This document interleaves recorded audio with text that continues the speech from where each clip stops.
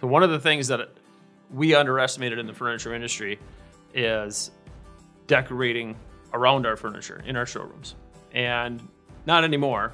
We get it now, but In but the beginning, in the beginning, our furniture Yeah. was really good quality. and, and we beautiful about quality. It was beautiful furniture, but we didn't decorate it to really bring the life of that furniture out. Our accessorizing was terrible, And we were just too cheap to spend money on that, and and, and we didn't uh, know what to spend it on when we did. and we didn't see it, you know. But today, you walk into our rooms, and they're wow, beautiful. Not not because of us. That's Well, because of Emily and her team and team and yep, other team members we've had throughout the years Yes. that have yes, that are good at showing that. showing us the light, Yes. showing us how important that is. Uh, I still can't Yeah. decorate.